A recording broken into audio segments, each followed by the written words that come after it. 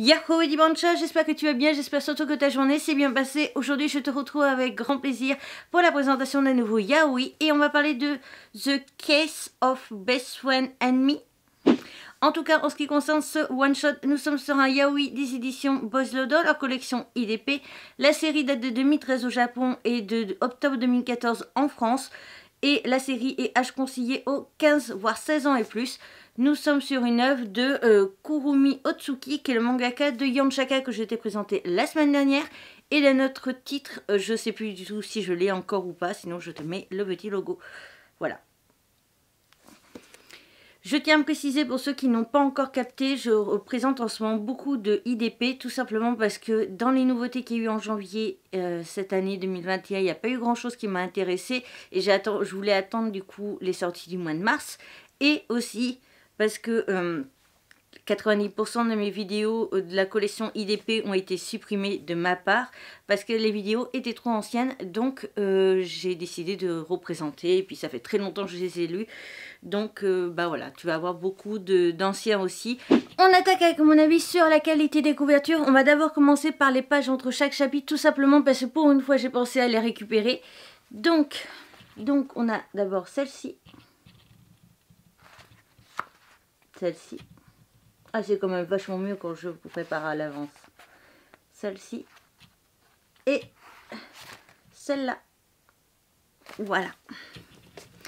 Donc on attaque avec mon avis sur la qualité des couvertures où je te dirais très clairement que là je la trouve plutôt sympa. On voit les deux meilleurs amis euh, dont l'un qui est allongé sur l'autre en train de jouer, l'autre qui est un petit peu en mode boudeur.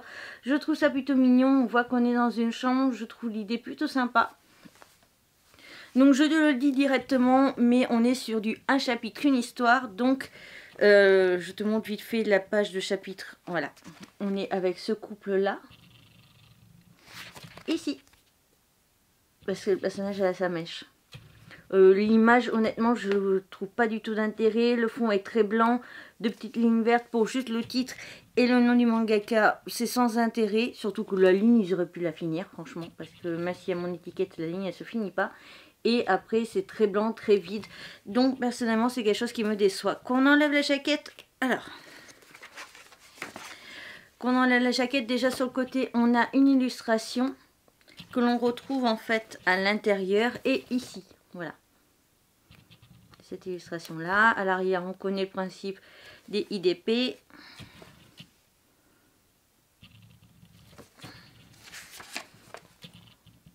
Voilà et le sommaire qui est plus que basique. Voilà, c'est tout en ce qui concerne la couverture. Donc personnellement, pas très très fan, à part ces deux illustrations là, je les aime. Après ça, j'aime pas du tout. Et les pages entre chaque chapitre qui sont quand même plutôt pas mal. On attaque mon avis sur la qualité du dessin qui est exactement le même avis que pour Yanchaka, étant donné que les mangas ont été écrits euh, avec pas beaucoup d'intervalle, il me semble, et surtout, c'est exactement la même qualité de dessin, l'auteur ne s'est pas spécialement amélioré ou enfin je sais plus lequel est sorti en premier, mais la qualité de dessin n'est pas différente entre les deux, donc je n'ai pas grand chose à dire. Et je suis désolée d'avoir ma voix de garçon, ma voix normale, mais euh, j'ai massacré ma voix ce matin à hurler.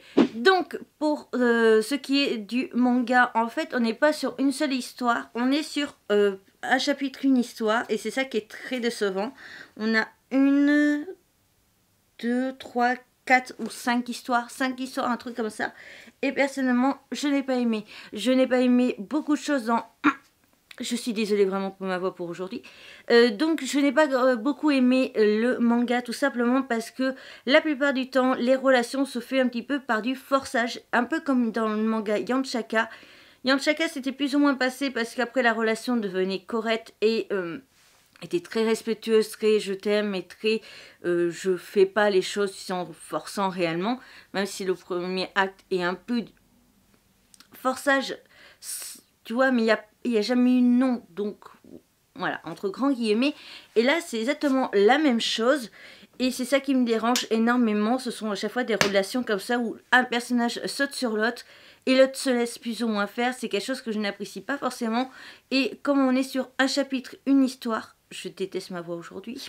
Euh, comme on est sur un chapitre, une histoire, et eh ben... Euh, on n'a pas le temps de travailler les relations de couple, on n'a pas le temps de travailler les relations tout court, on n'a pas le temps de travailler l'histoire, donc en fait c'est quelque chose de très euh, désagréable, pardon, et donc je n'ai pas lu grand chose cette fois-ci parce que j'en avais marre et que j'avais pas envie de le lire parce que je trouvais ça chiant en fait à chaque fois de voir que euh, les histoires n'étaient pas travaillées du tout.